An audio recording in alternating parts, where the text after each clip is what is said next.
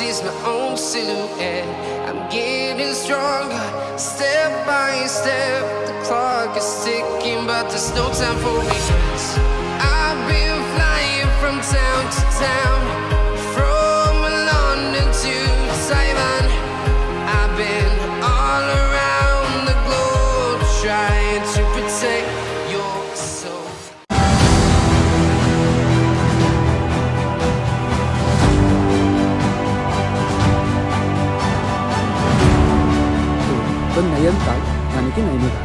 नैनीताल इसका एक पौराणिक हिस्ट्री है।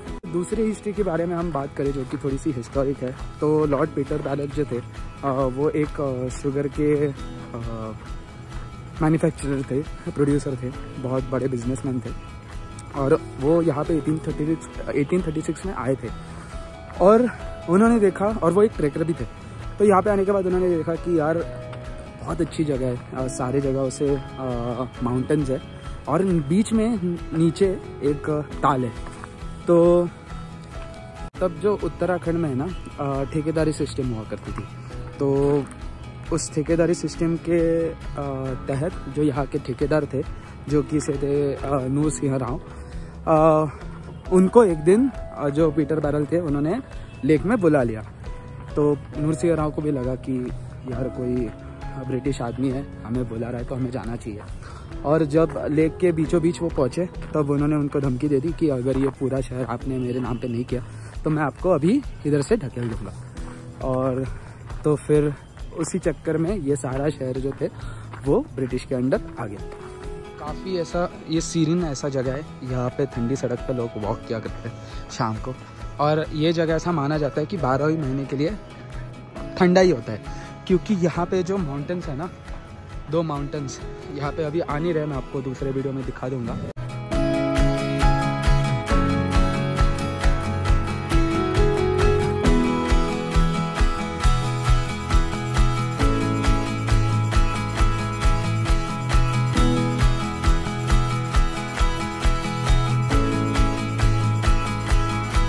तो आप पीछे देख सकते हो मेरे नैना देवी टेंपल है।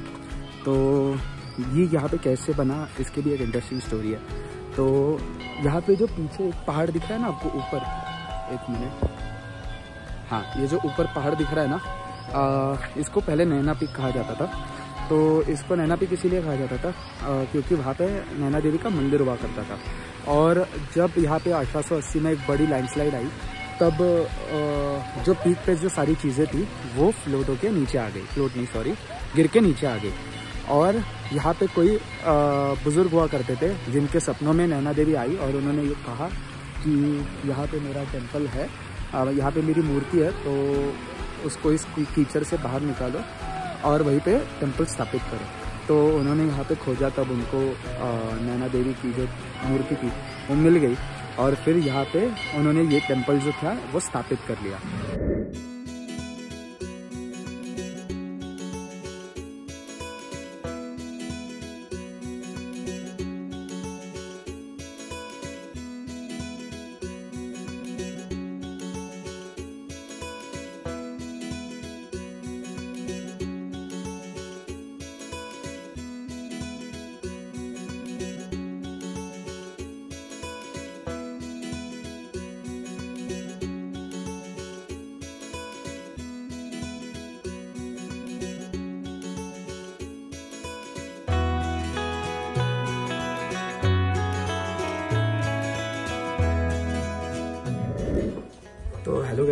अभी हम जिस होटल में आए हैं जहाँ पे आज रात को हम रुकने वाले हैं, हमारा सेकंड नाइट जो होगा नैनीताल में, वो है, इस होटल का नाम है शेवरॉन फेयर हेवंस ये एक हेरिटेज प्रॉपर्टी है। ये बनी 1927 में, और ये ब्रिटिश कालीन वुमेंस हॉस्टल हुआ करता था। बट इंडिपेंडेंस के बाद ये प्रॉपर्टी काफ़ी टाइम तक ऐसे ही रही, और फिर इधर की सरकार ने जो है इसको डिसाइड किया कि will change it into a hotel तो 97 सेवन ईयर्स ओल्ड प्रॉपर्टी है। और आप देख ही सकते हो कि कितने पुराने स्ट्रक्चर्स है यहाँ पे। पीछे भी देख सकते हो, मैं दिखाता हूँ आपको बैक कैमरा से। ये ऐसी रूम है। यहाँ पे आप देख सकते हो, एक मिरर है। यहाँ पे एकदम ओल्ड हेरिटेज से जैसा चेयर वगैरह है। यहाँ पे बेडरूम है। एंड यहाँ पे एक कबड़ है। और यहाँ पे बहुत बढ़िया जैसा व्यू सामने का। एंड फिर यहाँ पे आते हैं हम। यहाँ पे वॉशरूम है, जो कि क्लीन है। काफ़ी क्लीन तो ये हेरिटेज प्रॉपर्टी है तो आप देख सकते हो कि कैसा पूरा हेरिटेज वाला फील आ गया है यहाँ पे।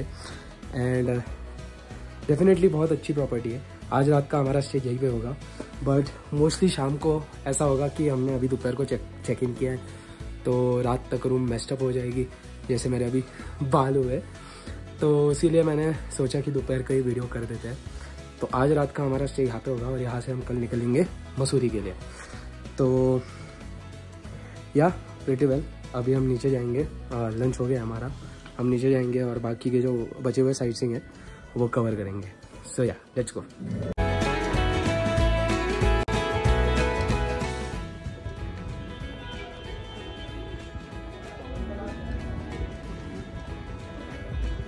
सो so, ये जो आप पीछे देख सकते हो ये और यहाँ पे नीचे जो भी जा रहा है ये है सारा बड़ा बाज़ार का मार्केट यहाँ पे कैंडल्स जैसी चीज़ें जो है वो बहुत फ़ेमस मिलती है।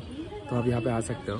मैं हर दुकान तो नहीं जा रहा अंदर बिकॉज़ मुझे कुछ लेना नहीं है खास बट मैं आपको बाहर से एक ओवरव्यू दिखा देता हूँ। ये ऐसे कैंडल्स के शोरूम है, आप देख सकते हो। यहाँ पे हर रेंज की कैंडल मिलती है। ये सेंटेड कैंडल्स भी है। यहाँ पे डिस्प्ले के कैंडल्स है। अलग अलग अलग अलग। ये पूरा कैंडल का स्टोर है। ये जो मेरे पीछे है, मेहरोत्रा करके, वैसे और एक गुप्ता भी। ऐसे ये कैंडल के शोरूम्स है। यहाँ पे कैंडल्स फ़ेमस मिलती है, पाँच रुपये से लेके पचास हज़ार तक। सारे कैंडल्स होते तो आप चेकआउट कर सकते हो। यहाँ पे। और बहुत बहुत ज़्यादा शोर था तो मैं अंदर आ गया।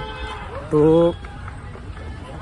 वो जो मार्केट है, वो बड़ा बाज़ार का मार्केट है। वहाँ से आप सीधे चले जाओगे तो आएगा मॉल रोड का मार्केट और बीच में ही एक स्टैचू लगता है, जो है गोविंद वल्लभ पंत जी का, जिनके बारे में मैंने आपको पहले ब्लॉग में बताया। वहाँ से आप जब राइट ले लोगे नैना देवी टेंपल के लिए। तो जो बीच में मार्केट लगता है, वो है सारा ठंडी सड़क का मार्केट जहाँ पे बार्गेनिंग होती है, जहाँ पे फुलन्स वगैरह काफ़ी सस्ते रेट में मिल जाते हैं। और वहाँ से आगे जो नैना देवी टेंपल के ठीक सामने है, वो है बुतिया मार्केट या फिर तिबेटियन मार्केट वहाँ पे भी आपको कैंडल्स मिल जाएगी एंड वुलन्स मिल जाएँगे। तो ये सारी चीज़ें यहाँ पे शॉपिंग करने के लिए फ़ेमस है तो ये सारा मार्केट एरिया है। आप मेरे पीछे देख रहे हो ना, ये मल्टीपर्पज़ ग्राउंड क्योंकि यहाँ पे पीछे आप देखोगे तो पार्किंग है इसी के साथ साथ यहाँ पे लोग खेल रहे हैं। इधर ही हेलीपैड है तो जब बड़े बड़े नेता यहाँ पे आते हैं तो उनको जो हेलीकॉप्टर्स होते हैं, वो यहाँ पे ही लैंड होते हैं। उसी के साथ साथ यहाँ पे आप देख सकते हो, ये जो है ये जामा मस्जिद है। इधर से ही अगर आप मॉल रोड से सीधा सीधा आगे जाओगे तो आता है चर्च, और यही जो गोविंद वल्लभ जी पंत का स्टैचू है, वहाँ से आप अंदर आओगे ठंडी सड़क की मार्केट को तो आपको लगेगा गुरुद्वारा और गुरुद्वारे के साथ साथ नैना देवी टेंपल तो यहाँ पे सारे धर्मों के लोग, सर्वधर्म समभाव इस कॉन्सेप्ट को फॉलो करते हैं और सारे धर्मों के लोग यहाँ पे मिलजुल के रहते हैं। ये मैसेज उनको यहाँ पे देना है इस तौर पे या फिर इस ओकेजन पे।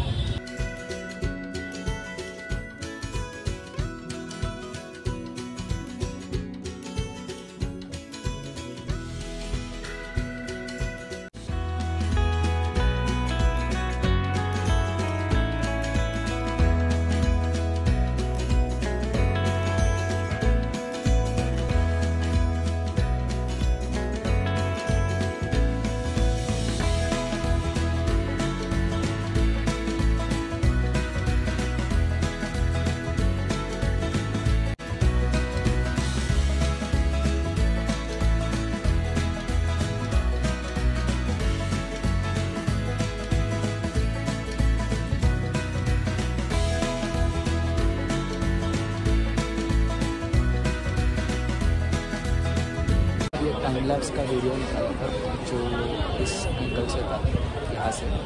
स्पॉट और वो टाइम निकालने वीडियो जब मैंने रखा था निकालने के लिए और मैं अपने दूसरे फ़ोन में गाने वगैरह सुन रहा था। तो एक बहुत बड़े शोर के जगह में एक ये बहुत बड़ी, अच्छी जगह है। मैं आपको लोकेशन भी दिखा देता हूँ। यहाँ पे ये चाय की टपरी है, जो वल्लभ पंत जी का स्टैचू जहाँ से आते हैं। यहाँ पे एक सब छोटा सा कॉर्नर आता है। जहाँ पे आप बैठ सकते हो और नीचे यहाँ पे बोटिंग के लिए रोड रहता है। तो यहाँ पे आके ना पाँच दस मिनट बैठना और ज़िंदगी के बारे में सोचना और जो मन करे करना, मैं गाने सुन रहा हूँ। पर अच्छा लगता है यहाँ पे मतलब एक शोर के बीच में एक पीस सा फील होता है यहाँ पे। तो डेफिनेटली यहाँ पे बैठो इन्जॉय करो। That's all I can say सो अभी हम बैठे हैं बोटिंग करने। नैनीताल लेक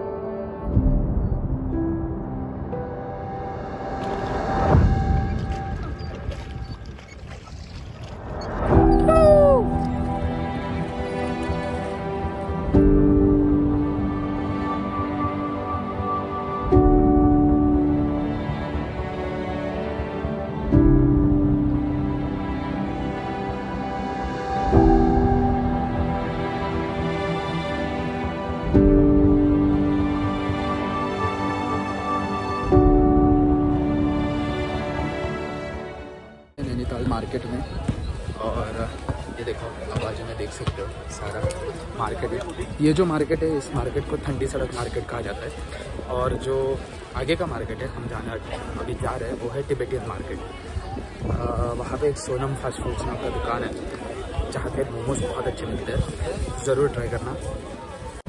और अभी यहाँ पे अनएक्सपेक्टेडली नैनीताल में बारिश शुरू हो गई है, और हम चल रहे हैं मोमोज खाने, जो कि यहाँ के सबसे फ़ेमस और बेस्ट मोमोज है। काफ़ी जाने माने और काफ़ी पुराने मोमोज है।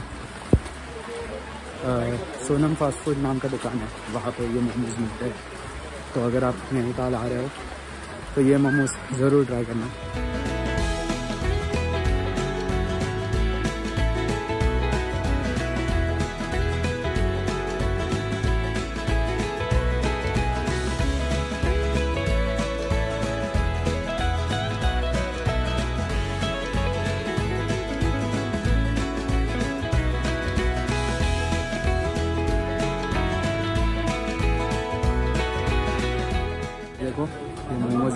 और अभी हम ये खाने वाले हैं।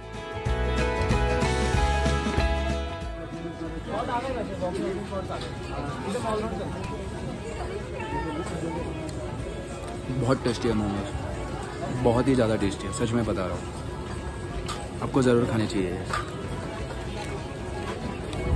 सारी चीज़ें हैं नैनीताल में एक्सप्लोर करने के लिए और हम सारी चीज़ें एक्सप्लोर करने की ट्राई कर रहे हैं। तो जैसे कि पर मोस्ट ऑफ़ जो साइट सीन्स है नैनीताल में, वो सारे इसी लेक के आजू बाजू है। तो इतना ध्यान रखना है कि इस लैंडमार्क को आपको छोड़ना नहीं है। होटल्स जो भी है वो इसी के पास में देख लो। आ, जैसे मैंने अभी जहाँ पे लंच किया शेफरॉन नाम का होटल है वो भी बहुत अच्छा है। आ, और भी बहुत सारे होटल्स हैं। यहाँ पे आप चेकआउट कर सकते हो इस पर पर ट्राई करो कि यहाँ पे आ जाए ताकि आपके जो सारे साइट सीइंग हैं वो दो दिन के अंदर कवर हो सके। जैसे कि नैनीताल जू है यहाँ पे हनुमानगढ़ी टेंपल है। नैनीताल लेक है यहाँ पे बोटिंग करते हैं। नैना देवी टेंपल है। जामा मस्जिद है, क्राइस्ट चर्च है और एक ऑफ़ बीच जगह है जो कि सेंट जॉन विल्डरनेस चर्च है। वो यहाँ से ही ऊपर को थोड़ा रास्ता देता है, वहाँ पे वो भी मैं दिखा दूँगा बट उसकी शायद मेरे पास बड़ी क्लिप नहीं है, क्योंकि मैं सुबह सुबह जाते जाते उस टाइम में मुझे पता नहीं था कि उस प्लेस का सिग्निफिकेंस है। तो मैं बस वहाँ पे जाके फ़ोटो खिंचवा के आ गया, और मुझे नहीं लगता मेरी आइटनरी मुझे लव करेगी कि वहाँ पे जाके मैं वापस, वहाँ पे पूरा ब्लॉग शूट कर सकूँ। तो that is for it I would never fall in love again until I found